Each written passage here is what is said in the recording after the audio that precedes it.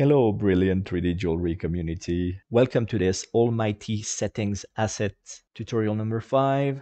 Let's get started. Start with an empty Blender file. Go to File, Append. Go to the Asset file. Go to Collections. And today we're going to work in alphabetical order. Good, so here we have the Asscher faceted setting types. And remember, when you append a collection, you're going to have all the elements from that collection overlapping at once. You can start hiding what you're not going to use. Today, I'm not going to work with the bezels. And I'm going to start explaining the basket settings so I can hide the others. So as always, we have the profiles for the belt, the profile for the base, and from the top view, we have the profile for the prongs. So if I select the prongs, what I have is a Bezier curve with the control points, making the shape of the prong. So let's say I want a specific size for my gemstone because the client gave me the exact measurements for my gemstone. So it's going to be 10 millimeters. And let's say this Asscher now is going to be 5.5 millimeters thick.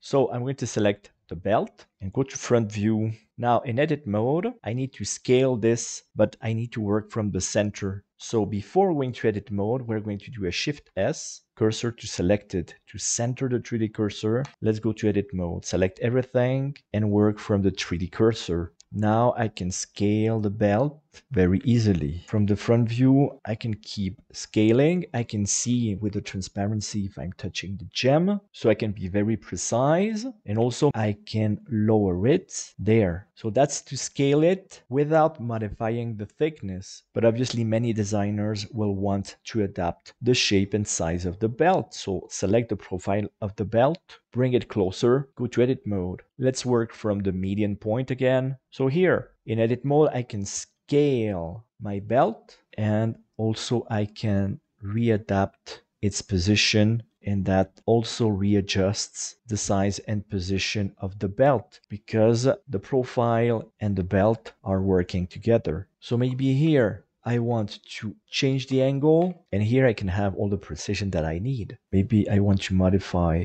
the design of the belt, make it double like this and this is great. Or maybe you want something smoother to that, change the curve spline type to Bezier and then select the points that you want to smooth. Change them to automatic handle types and now you can adapt and now you can adapt a completely different type of design like this something smoother using the Bezier curve type or you want to go to something sharp again that's the poly type now let's select the belt and go to edit mode the corner has two control points because maybe that part needs to be readjusted. So I can make it bigger, readjust, and give a very exact position here to readapt the shape of the corners. That's why we have two control points at the corners. Exit edit mode. Now I'm going to adapt and move the prongs. So let's select the prongs, go to edit mode, select everything, grab, adapt the position.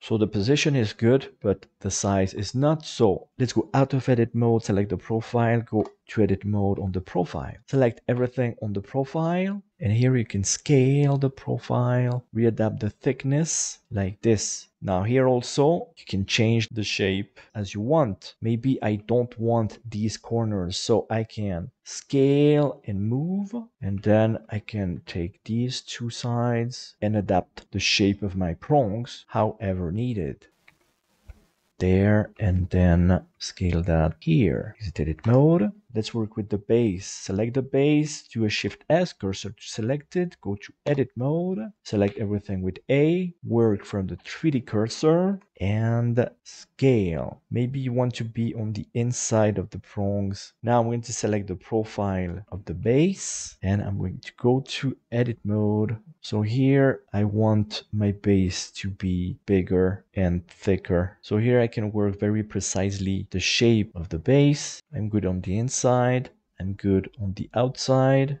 Exit edit mode. Now here a detail on the prongs. There's a stage right here that I don't want. So let's go to edit mode on the prongs. This is because of the radius of each control point. So here what I need to do is readapt the radius of this level.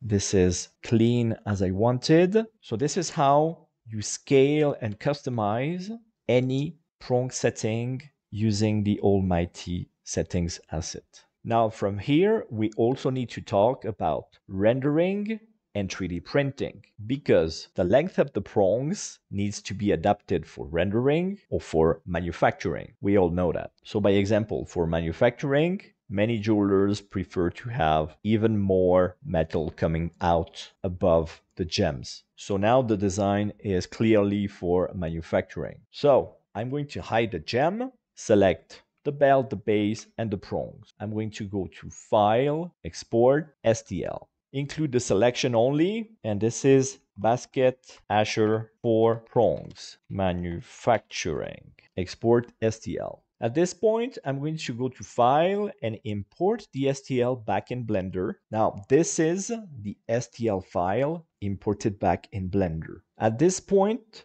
one very common practice is to add a remesh modifier, adapt the voxel size to the precision that you need. I go at 0.02 and I'm going to apply the remeshing. So obviously now we're going to have a lot more geometry. So we're going to use the decimate modifier, check the face count, one million and a half. That's still pretty low for a high resolution 3D jewelry STL printing file, but I'm going to go at 25%. So ratio 0.25, that's how it works in Blender. Let it calculate here. Okay, we have 500,000. And here you don't even need to apply the decimate modifier. So you just go to File, Export, STL, and I'm going to overwrite my printing file, Export STL. Now I can erase this. So delete. Obviously don't erase the rest. These are my curves making this Asscher setting.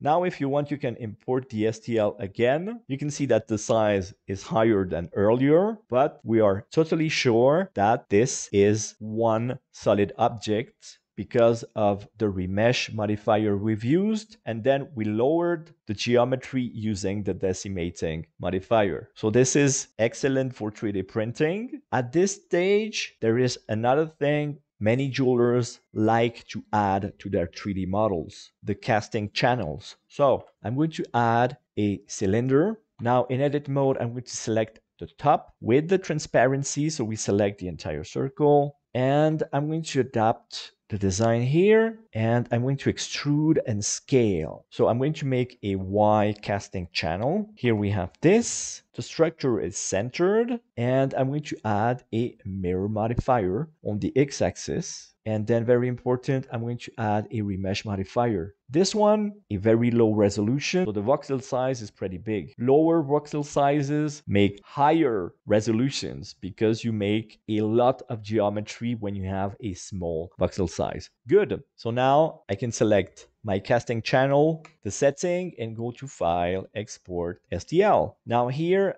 I'm going to save another file. You can always import your STL again. So now this is the Asscher setting customized to the new size of the gem, ready for manufacturing using this 3D printing STL. And as general knowledge, don't forget to check your STL in another software, so not in Blender. That's a good practice. Check your STL, repair it if necessary. That's general knowledge for 3D printing. Great. Now we're going to talk about the double prongs basket setting, and I'm going to use the cushion shape to customize this double prong setting. So here I'm going to make the gem smaller. I'm going to make it 3 by 4 by 2. Then select the belt, Shift S, cursor to selected, edit mode, select everything, work from the 3D cursor, scale, start adapting the position,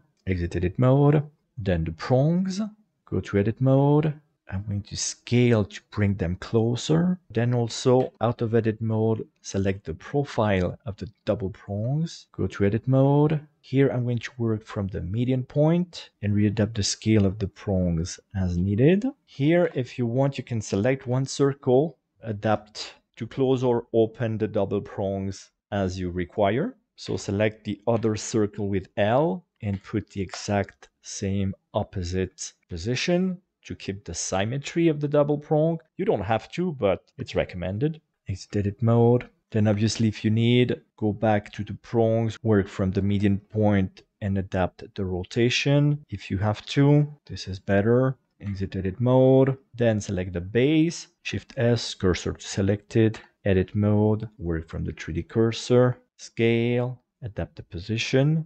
Maybe you have to scale only on the y-axis.